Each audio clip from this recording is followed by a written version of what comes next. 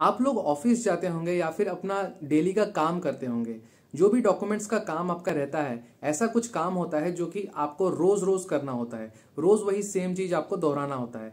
तो अगर इस तरीके का आपका कोई काम है, जो कि आपको हर रोज डेली के बेसिस पर करना होता है तो सोचिए, अगर ये काम आपका ऑटोमेट हो जाए, यानी कि ऑटोमेटिकली होता रहे जब भी आप चाहें तब, एक ही कमांड के बलबूते पर तो कितना अच्छा होगा।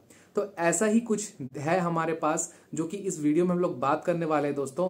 एम एस एक्सेल का एक मैक्रो फ़ंक्शन है दोस्तों, जो कि खूबसूरत फ़ंक्शन है, जिसके बारे में हम आज जानने वाले हैं। तो दोस्तों, इसके ज़रिए आप क्या कर सकते हैं? आपका जो भी काम है डॉक्यूमेंट्स का, आप कर रहे हैं, उसको आप ऑटोमेट कर सकते हैं दोस्तों। जब भी चाहे, एक ही क्लिक के कमांड पर आप उसको ऑटोमेट कर सकते हैं। तो खुद ब खुद आपको जो चाहिए वो हो जाएगा। फ्रेंड्स चलिए बात कर लेते हैं इस खूबसूरत फ़ंक्शन के बारे में जो कि आपके बहुत सारे इंटरव्यूज़ में और कंप्यूटर स्किल टेस्ट में पूछा जाता है। तो वीडियो को अच्छे से देखिए और ज़रूर से कमेंट करके बताइए कैसा लगा आपको ये खूबसूरत फ़ंक्शन तो चलिए स्टार्ट करते हैं वीडियो को। अगर आप चैनल पर नए हैं तो सब्सक्राइब ज़रूर से कर दीजिए और बेल बटन को भी प्रेस कर दीजिए। वीडियो को अपने दोस्तों के साथ शेयर कर दीजिए और लाइक ज़रूर से कर दीजिए दोस्तों, अगर आपको इस तरीके का कंटेंट्स चाहिए। तो चलिए स्टार्ट करते हैं वीडियो को।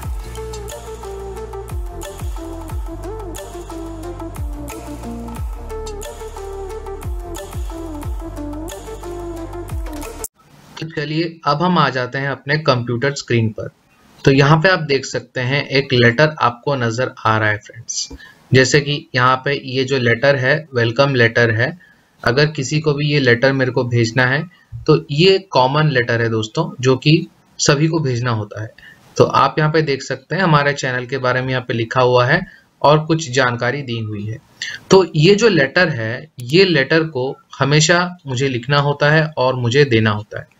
तो ये काम क्यों ना मैं एक ही बार कर लूँ और इसको ऑटोमेट कर दिया जाए ताकि जब भी हमें इसको ज़रूरत पड़े सेंड करने का किसी को तो हम इजीली मैक्रो फ़ंक्शन के हेल्प से एक छोटा सा कमांड प्रेस करेंगे और उसके तहत ये ऑटोमेटिक टाइप हो जाएगा और चला जाएगा दोस्तों।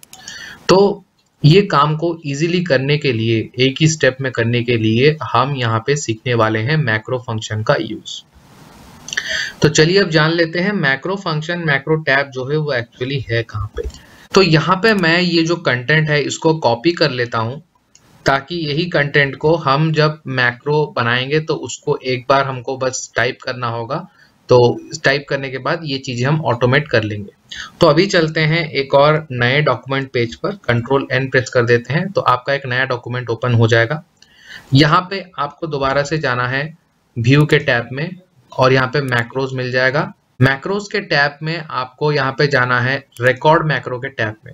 जैसे ही रिकॉर्ड मैक्रो के टैब में आप लोग जाएँगे तो आपके सामने ये डायलॉग बॉक्स ओपन हो जाएगा। तो यहाँ पे जो स्टेप्स हम यूज़ कर रहे हैं, ये स्टेप्स को आप ध्यान से देखिए दोस्तों, क्योंकि एक स्किल टेस्ट में ये पूछा जा चुका है कि मैक्रोज जब आप रिकॉर्ड करते हैं या मैक्रोज जब आप यूज़ करते हैं तो उसमें सेकेंड स्टेप कौन सा होता है? तो इस तरीके का क्वेश्चन भी पूछा जा रहा है। तो पहले हमको यहाँ पे मैक्रो का एक नाम दे देना है। तो मैं वेलकम दे देता हूँ वेलकम वन नाम देने के बाद आपको यहाँ पे कीबोर्ड का ऑप्शन पे जाना है। आपको दिख रहा है कीबोर्ड में आपको उसका एक शॉर्टकट की स्पेसिफाई करना है। जो की प्रेस करते ही वो मैक्रो आपका ऑटोमेटिकली काम करने लगेगा। तो कीबोर्ड के ऑप्शन में आपको जाना है और कीबोर्ड के ऑप्शन में जाते ही ये आपका कस्टमाइज कीबोर्ड का ऑप्शन खुल जाएगा। और यहाँ पे आपको क्या करना है, एक न्यू शॉर्टकट की प्रेस करना है। सपोज़ इस काम के लिए मैंने यहाँ पे शॉर्टकट की प्रेस कर दिया कंट्रोल शिफ्ट और डब्ल्यू देख सकते हैं, जैसे कंट्रोल शिफ्ट डब्ल्यू मैंने प्रेस किया तो ये ऑलरेडी लिख रहा है currently assign to Word underline तो वर्ड को अंडरलाइन करने के लिए ये शॉर्टकट की है तो आप ये यूज़ नहीं कर सकते हैं।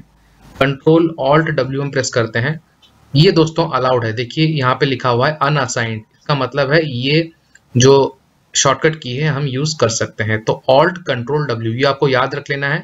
शॉर्टकट की जब भी आप प्रेस करेंगे तो आपका ये वाला मैक्रो जो वेलकम नाम से हमने सेव किया है, ये आपका रन हो जाएगा। अब हम प्रेस कर देंगे असाइन पर और इसको कर देंगे क्लोज अब हमारा क्या हो गया? ऑलरेडी मैक्रो रिकॉर्डिंग स्टार्ट हो चुका है दोस्तों।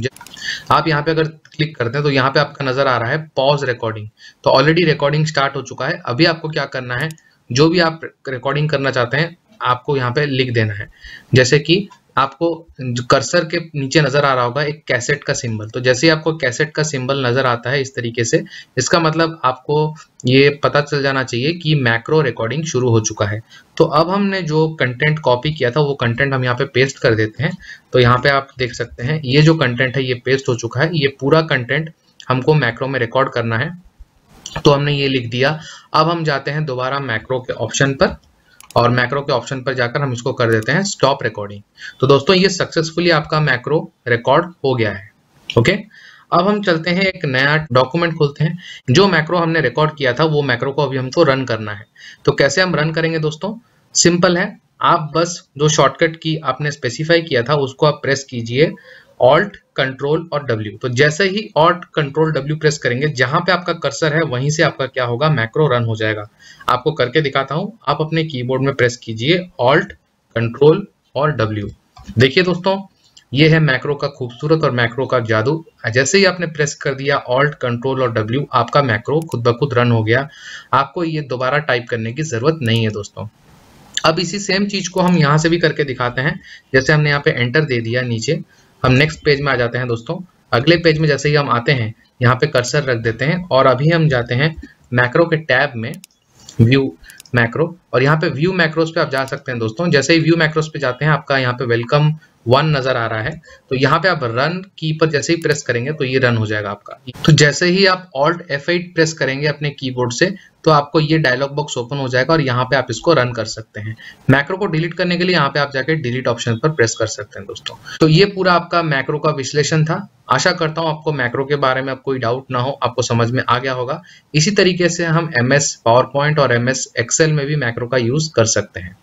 आपको अगर ये कंटेंट पसंद आ रहा है और इस तरीके का कंटेंट और आपको चाहिए तो बिल्कुल कमेंट सेक्शन में कमेंट करके बता दीजिए और इस वीडियो को अपने दोस्तों के साथ शेयर कर दीजिए और एक लाइक ज़रूर से कर दीजिए दोस्तों। अगर आप चैनल पर नए हैं तो सब्सक्राइब करके बेल बटन को ज़रूर से ऑन कर दीजिए।